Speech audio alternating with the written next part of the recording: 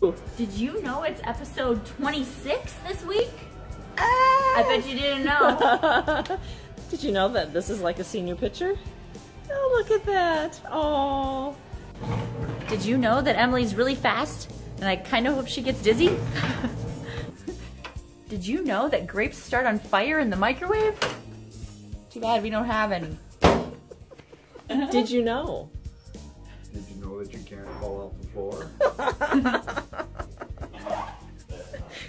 Did you know that this is not a clown suit? What? or a minion suit? I was gonna wear it for Halloween. Can you walk? Did you know that at one point Porsche manufactured tractors? Are we I doing? did not know that. Not this one. did you know that Krista had dreams of being on the Jamaica bobsledding team? Did you know that this little guy is a combine? How cute! And we got music in the shop.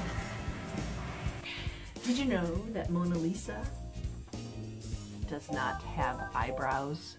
No eyebrows there. I have eyebrows. Ooh. and did you know that we have currently 338 followers, but we get 2,000 video views a week? What is that about? If you're watching the video, why don't you like our page? Did you know that next week Farmers Implement and Irrigation is going to be at Dakota Fest and Turner County Fair. yeah. I knew that, but I bet you didn't. Did you know that I didn't eat breakfast this morning, so I'm really hungry?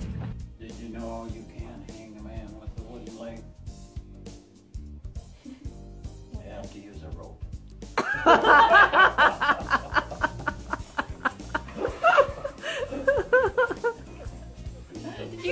Did you know that it's Looney Days in Coleman this weekend?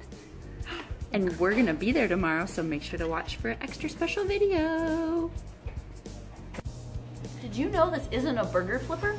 It's actually used to change the blades on a disc mower.